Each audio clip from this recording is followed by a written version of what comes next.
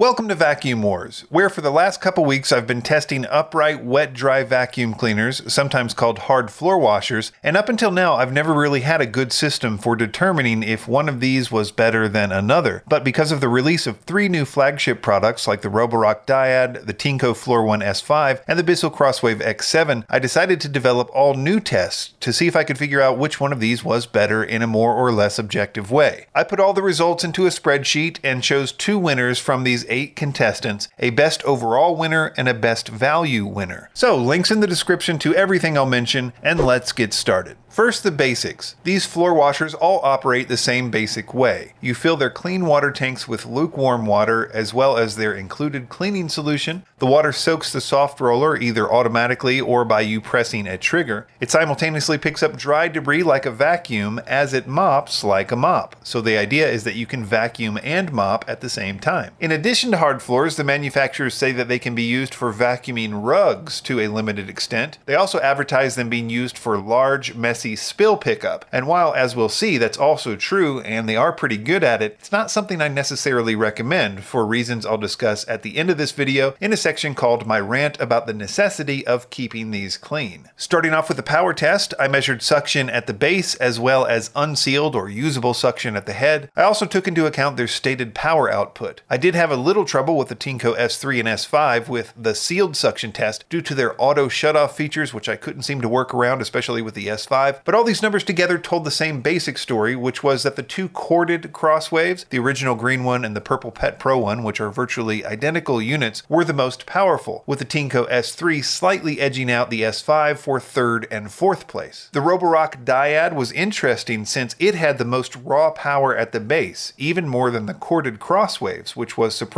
That power didn't seem to translate very well into the usable suction test, though, where it came in second to last. And this would be a good time to say to take all these tests with a grain of salt. Though I try to be very careful and often run the test several times, I could easily be overlooking some setting or just making a mistake. A new test I ran was the revolutions per minute test, where I used a digital tachometer to measure how fast their brush spins. Here I tried two different methods of attaching the reflective tape needed to get a good reading, and after a lot of trial and error, I'm at least confident that these measurements are consistent with one another. Here I found that the two original crosswaves with the cords were again the best, with the original Tineco iFloor behind them, the two cordless crosswaves, the Max and the X7, tied for third, and the rollers on the S3, S5, and Roborock Dyad were all significantly lower than the others, but about the same with one another. To me, there's still an open question as to how much a faster spinning brush affects the performance. I suspect it's not that big of a factor, but I also think it does play a role in certain tests, as we'll see later. Moving on to ease of use. This is a broad category that takes into account things like their weight, their swivel accuracy, questions like do they stand up on their own, are they corded or cordless, and of these eight products, I like the Tineco S3 and S5 for ease of use. They were lighter than most, they had the best swivel other than the Roborock Dyad, they had the convenience of being cord free, and they were the easiest to use on rugs. As I said, the Roborock Dyad had the best swivel. All the others had a two axis swivel, which were all smooth and good for what they are, but the Dyad has a very smooth 180 degree swivel, which can easily maneuver in all kinds of situations. The problem is that it also is about 2 pounds heavier than the Tineco's, and because of that 180 degree swivel, it can't stand up on its own. It has a kickstand instead, which was okay, but its weight and not being able to stand up on its own was a noticeable issue. Most of these are cordless, and I have to say that's really nice not to have to worry about cords, especially with these wet dry vacuums. The downside, of course, is that you have to worry about battery life, and here they were all about the same, between 30 and 35 minutes with the exception of the original Tineco iFloor. And those numbers are really good, much better than I'm used to seeing with regular cordless vacuums. I think you'll find that 30 minutes is more than enough time to vacuum most houses. One new test was the dried on glow in the dark test, which is kind of a torture test because the substance I use to stain the floor does not come up easily. It's meant to mainly test the scrubbing ability more than the overall cleaning, which we'll see is just as important in a minute. But here I gave the Roborock Dyad and the Crosswave X7 the highest marks, with the Tineco S3 and S5 just behind behind them. Another new test was the glow in the dark wet test, and I think this is the most revealing test as it shows how well the vacuum manages the water in multiple passes, how well its squeegee deals with both the forward push and the backward pull in terms of liquid, how it deals with streaks when the roller gets dirty, basically how quickly and how thoroughly it picks up the messes. And here, the two corded crosswaves with their extra power and RPMs really seem to be the best. They clean the messes in about half the time, and I was more satisfied with the results than I was with any of the others. Of the cordless versions, the Tineco S3 and S5 were the best. They took a little longer than the corded crosswaves, but they managed the messes much better than the Roborock or new Crosswave X7 in my opinion. I did test them with large wet messes as well as dry debris, which is something that I've always tested, but as far as I could tell, they did about the same with this, which is to say, very good. As far as the noise, the two corded crosswaves were way louder than the others by almost 10 decibels, which is significant, with all three Tinecos being the most quiet. The Tineco S3, S5, and Roborock Dyad got extra points for being fully automatic, meaning that they automatically dispense the water for you and even adjust the suction up and down depending on the amount of mess being cleaned up, which optimizes battery life. The others have triggers on the handle where you can control the water flow yourself and buttons to control the suction and brush speed. I took into account their stated water tank sizes where there wasn't all that much difference with the exception of the Crosswave X7 and original Tineco iFloor, which had smaller than average tanks. Some miscellaneous gripes included things like the Roborock Dyad seeming a bit buggy to me. For example, while it's not uncommon for these machines to be finicky about the type of water you can use, the Dyad was very picky. It gave me an error message until I finally used spring water. Also, I can never get the audio alerts to change to English, despite following the instructions in the manual many times. Another thing was with the Crosswave X7, where the handle kept coming out. I think I may have broken it at some point, so it's probably operator error. It still worked after that, but I think it may have broke too easily. All these units are made primarily for use with hard floors, but they all make claims to be able to be used for carpets or small rugs. But they're not all equal in that way. For example, I found that the Tinecos were super easy to push on my large rug at the house, but the original Crosswaves were much harder to push. And that brings me to my rant about keeping these things clean. They all get messy, it's just the nature of mixing wet stuff with solid stuff, and you'll need to clean its brushes and rinse the tanks and filters after every use in my opinion. You could probably get away with just using the self cleaning options most of the time if you're only using it for regular vacuuming and mopping jobs, that is, with no big spills, which is why I think these machines are highly valuable. But if you're wanting to use it for SpaghettiOs or pet waste, I think you'll need to clean it really good by hand after every use or it's going to get nasty pretty quick and you won't want to use it anymore. With this, I think that the Tineco S3 and S5 had the best systems for keeping it clean. And it may have been my imagination, but it seemed like the S3 and S5 got less dirty than the others did. So after adding up all these scores, I have two winners. For the best value pick, I have the Bissell Crosswave Pet Pro, the corded one. And here I could have just as easily picked the original green Crosswave corded since they are exactly the same, except for the color and the Pet Pro has a strainer for a few extra bucks. But the point is that because they were corded, I think they had more power and RPMs, and I think that extra suction at the head played a role in the glow in the dark wet test, where they did significantly better than the competition. They're also significantly cheaper than the new cordless versions, so I think it's a good value. That being said, I think that the Tineco S3 and S5 are better machines in almost every respect, and the freedom of being cordless really is a big deal in this situation. I think that the older S3